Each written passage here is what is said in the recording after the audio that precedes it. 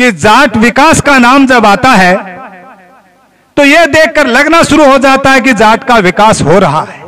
Ram Ram Sah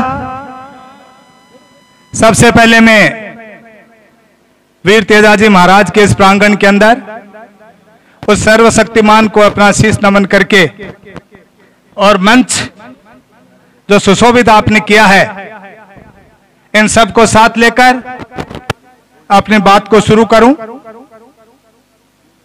rail Jat विकास समिति जोधपुर की ओर से यह कार्यक्रम इतना सुशोभित और इतना सुनियोजित ढंग से आज आयोजन करने का काम किया है।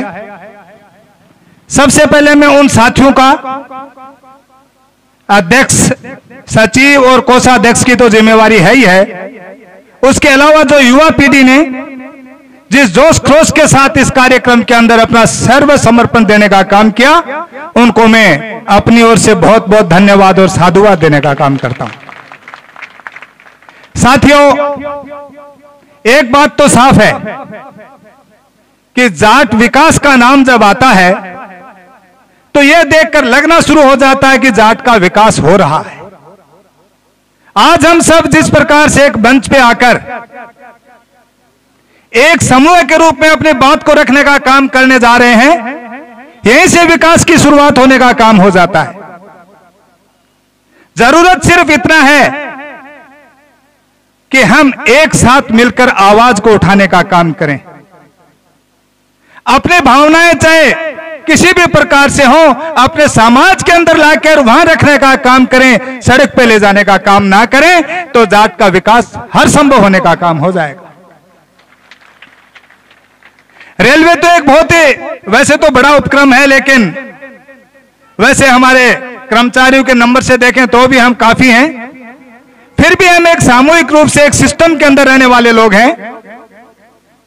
और सबसे पहले इस विकास समिति का जो शुरुआत किया, या जाट कर्मचारियों को एक साथ जोड़ने का काम किया तो वीर तेजाजी महाराज के आशीर्वाद से जोधपुर की इस दरा से शुरुआत होने का काम हुआ। आज जयपुर के अंदर भी हम आओ, साथ चले, परिवार चलाने का काम कर रहे हैं। हमारे युवा और अनुभवी साथी मिलकर एक अच्छा कार्यक्रम बनाने का काम भी कर रहे हैं। और उसके साथ साथ हम चाहे पर्दे के सामने, चाहे पर्दे के पीछे, हम हमारे लोगों का उतना ही ख्याल रखने का काम कर रहे हैं जितना परिवार के अंदर, एक सामाजिक सरोकार के अंदर होना चाहिए। और वही जिम्मेवारियाँ यहाँ रहने वाले हर व्यक्ति की हो जाती है। और आज हमें बहुत अच्छा लगा।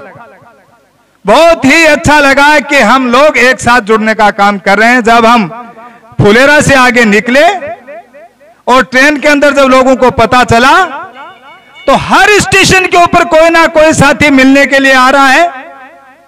और हमारा ख्याल रखते हुए जो भी आवश्यकता है उनको पूरे करने का काम कर रहा है। इससे ऐसा लगने लग गया कि हम एक दूसरे से कितने आत्मसात होते जा रहे हैं। एक दूसरे के प्रति हमारा सामाजिक सरोकार और हमारी समर्पण की भावनाएँ कितने जुड़ने का काम कर रही हैं, यह सब चीज़ें अपने आप में एक अद्भुत और अनोखी हैं।